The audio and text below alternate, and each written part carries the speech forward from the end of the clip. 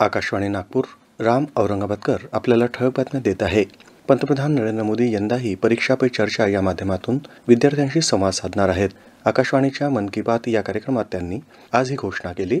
परीक्षा पे चर्चामध्ये सहभागी होण्यासाठी अठ्ठावीस डिसेंबरपासून नोंदणी सुरू होणार असून माय जीओव्ही डॉट इन या वेबसाईटवर वीस जानेवारीपूर्वी ही नोंदणी करावी लागेल. या अंतर्गत नववी ते बारावीचे विद्यार्थी शिक्षक आणि पालक यांच्यासाठी ऑनलाईन स्पर्धेचं आयोजन करणार असल्याचं त्यांनी सांगितलं.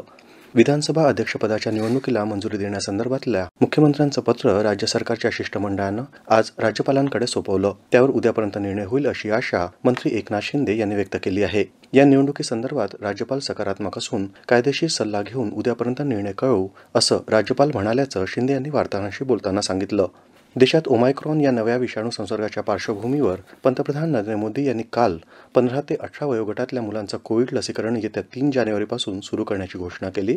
त्याचबरोबर येत्या दहा जानेवारीपासून आरोग्य आणि प्रत्यक्ष रुग्णांच्या संपर्कात येणाऱ्या कर्मचाऱ्यांना आणि सहव्याधी असणाऱ्यांना साठ वर्षांवरील नागरिकांना तिसरी मात्रा देण्यात येईल अशी घोषणाही मोदी यांनी यावेळी केली.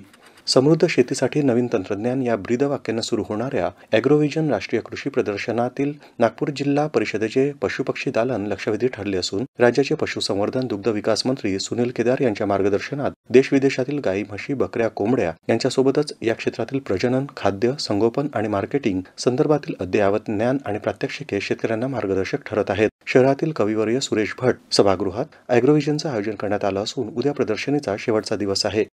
स्वातंत्र्यवीर सावरकर राष्ट्रीय स्मारकाच्या अध्यक्षपदाच्या निवडणुकीत माजी पोलीस महासंचालक प्रवीण दीक्षित यांचा एकशे सदतीस विरुद्ध दोन या फरकानं विजय झाला. या निवडणुकीत त्यांच्या विरोधात केसरीचे संपादक दीपक टिळक यांचा पराभव झाला. प्रवीण दीक्षित हे एकोणीसशे सत्याहत्तरच्या तुकडीचे भारतीय पोलीस सेवेतील निवृत्त अधिकारी आहेत. महाराष्ट्र पोलीस आणि राज्य राखीव दलाचे ते प्रमुख होते. याबरोबरचे बातमीपत्र संपलं. नमस्कार.